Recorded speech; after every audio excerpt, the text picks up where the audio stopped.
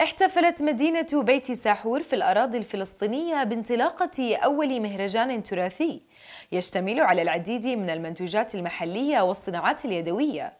وقد شارك بحفل افتتاح المهرجان الذي أقيم على مدى ثلاثة أيام بجانب كنيسة بئر السيدة العذراء وسط بيت ساحور. عدد كبير من المسؤولين والأهالي والكشافة وضيوف المدينة. تفاصيل أوفى في تقرير مندوبتنا في القدس مرلين الحدوى احتضنت مدينة الرعاة بيت سحور. السوق والمهرجان الأول من نوعه أطلق عليه اسم سوق وحكاية حيث ابتدأ الاحتفال بمسيرة استقبال رسمي للوجهاء. تقدمتها مجموعة كشافة اللاتين في بيت سحور. وبحضور الكهنة الأجلاء وعطوفة محافظ محافظة بيت لحم السيد كامل حميد. ورئيس البلدية الأستاذ جهاد خير وأعضاء المجلس البلدي والمؤسسات والشرطة وأهالي المدينة ووفود أجنبية. بفرح كبير تم قص شريط الافتتاح والسير في شوارع وأزقة البلدة القديمة. ويعتبر هذا السوق الأول من نوعه واستمر لمدة ثلاثة أيام متتالية. ويحكي حكاية الفرح الكامن في القلب. حيث رسمت المدينة بلوحة كاملة من الجمال وإحياء هذه الأزقة القديمة التراثية التي تتميز بالأصالة. ها هي مدينة الرعاة بيت سحور التي انطلقت منها رسالة الميلاد في العالم. تعيد الذكريات القديمة لأهاليها بفاعليتها الرائعة من حيث عرض المنتوجات المختلفة من أشخاص لديهم القدرات. فكل زاوية احتضنت منتوج مختلف. هذا وقد تم ترميم وإعادة تأهيل هذه الأزقة بالتعاون مع بلدية بيت سحور مع مختلف المؤسسات والجمعيات والمدارس لكي تبعث برائحة التراث القديم من مدينة السلام مدينة الرعوات. ابتدأ الاحتفال بالسلام الوطني الفلسطيني ثم كلمة لرئيس بلدية المدينة الأستاذ جهاد خير الذي شكر كل القائمين على هذا المشروع الأكثر من رائع. لكي تبقى مدينة الرعاة مدينة حضارية. كما وشكر عطوفة المحافظ في كلمته القائمين على هذه الفكرة. وخص الشكر بالمرأة الفلسطينية عامة والسحورية خاصة على ما تقوم به من إنجازات. كما ونقل تحيات السيد الرئيس أبو مازن رئيس دولة فلسطين. وفي كلمة من عريف الحفل عيسى رشماوي الذي شكر الفنان طارق سلسع والسيدة نتالي الطويل على المجهود الرائع. وبعدها تم إضاءة شعلة الانطلاق وبدء الاحتفال الذي استمر لمدة ثلاثة أيام متتالية في هذا المكان الذي يلاصق كنيسة بئر السيدة العذراء وسط المدينة. شوقية عالشوقية. شوقية عالشوقية. شوقية عالشوقية. وإحنا ولاد ساحورية. وإحنا ولاد ساحورية. وإحنا ولاد ساحورية. وإحنا ولاد ساحورية. وفكرة شعلة تذكار هي فكرة أن ننير هذه الشعلة لتكون رسالة سلام ومحبة إلى كل العالم من مدينة بيت صاحور مدينة حقل الرعاة مدينة البشارة اللي بشر فيها الملاك بولادة سيدنا المسيح له المجد. طبعا أنا زي ما الكل شاف على المسرح بإني تأثرت أثناء كلمتي ورجفة الدمعة بعيني لسبب واحد فقط هو ليس ضعف وإنما قوة قوة بثقة غالية بإني أوثق وأحترم أبناء مدينة بيت صاحور بشبابها وشاباتها ورجالها ونسائها ومسنينها وأطفالها ومؤسساتها اللي وضعوا إيديهم بإيدين بعض بدون أي مقابل. بعمل تطوعي وموظفي البلدية وعمال البلدية والمدارس وكل المؤسسات كانت تعمل برجل واحد وبيد واحدة من أجل مدينة بيت صاحور ومن أجل فلسطين. فكل الاحترام والتقدير للجميع وأنا فعلا بس بقول كلمة واحدة إني بفتخر في مدينة بيت صاحور بفتخر في فلسطين وبفتخر بإني رئيس بلدية لهيك ناس محترمين. فهذه بيت سحور أرض الرعاة أرض المحبة أرض المجد لله في العالي وأرض السناس المسرة. تحتفل بيت سحور بهذا هذا الاحتفال البهيج بهذا الاحتفال نفتخر فيه حكاية حكاية بيت سحور التي تحتفل فيها بكل بكل محبة. هذه الأرض المقدسة أرض البشارة هذه الاحتفال العظيم الذي يحتفل به المسلمين والمسيحيين مع بعض البعض لأن هذه هي أرض البشارة أرض المحبة. ولذلك نحن نقف اليوم لتشجيع لهذا الاحتفال.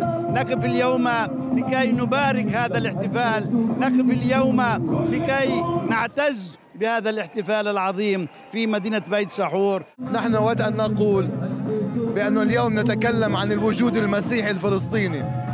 إن الوجود المسيحي الفلسطيني الذي يصمد على أرضه عندما يكون خلاقا في زرع الأمل والرجاء في أهل شعبنا على أن يصمدوا على هذا الأرض وأن يبقوا حاملين شهادة المسيح.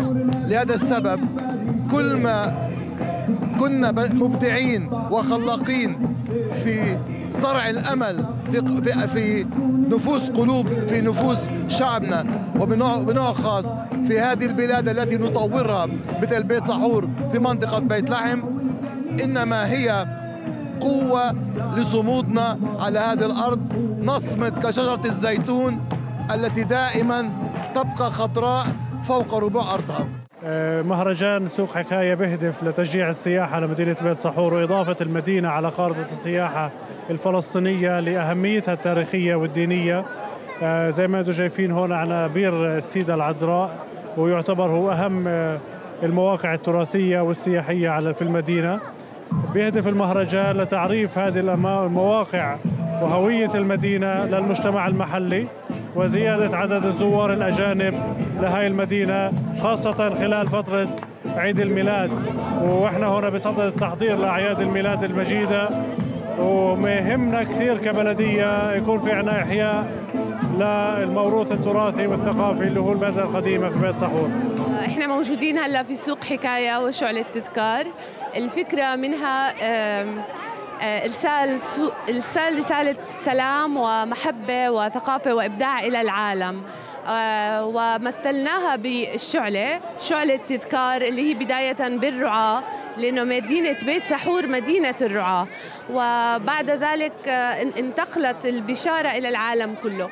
وبنأمل من من سوق حكاية وشعلة تذكار إن نقدر نبعث للعالم كله شعلة أو رسالة محبة وسلام وثقافة وإبداع من الشباب الفلسطيني إلى العالم كله. شكراً. آه، هلا الفكرة كانت إحنا متواجدين في البلدة القديمة في الموقع هذا اللي هو اسمه فنجان وكتاب اللي قديما اسمه دار ذكرت وهو مبنى عمره أكثر من 120 سنة تابع لبلدية بيت سحور تم شراؤه وترميمه على نفقة أعضاء المجلس البلدي قبل سنوات. وبتستلمه بالعهدة البلديات متوالية. فإحنا حصلنا على هذا المبنى مجانا. آه، هي مشروع متعاون بين بتعاون بين جمعية وساطة ومجموعة النادي الأرثوذكسي العربي أفرادهم وقيادة. عمالنا بنشتغل على آه، إعطاء فكرة روح التطوع في آه، إعادتها في المدينة.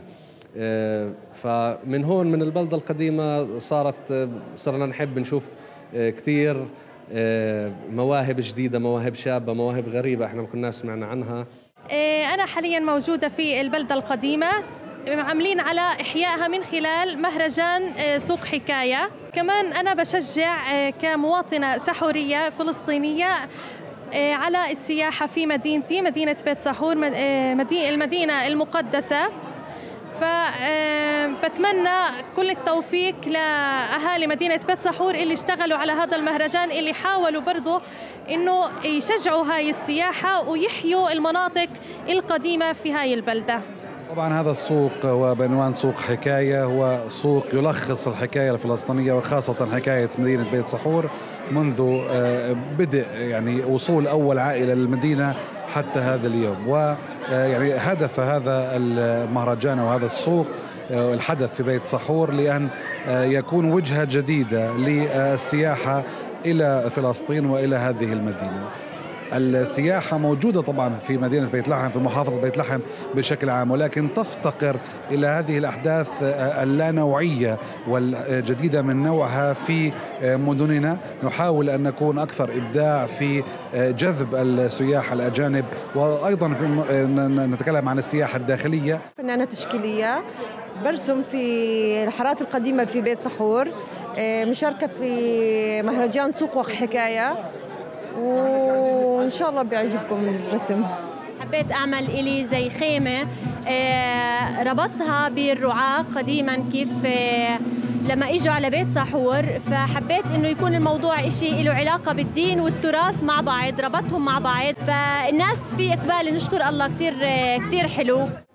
انتهى الاحتفال بأغاني من فنانين المدينة ودبكات شعبية نالت إعجاب الحاضرين الذين ارتسمت الفرحة في قلوبهم. للنورسات مارلين الحدوى من مدينة الرعاة بتسحور.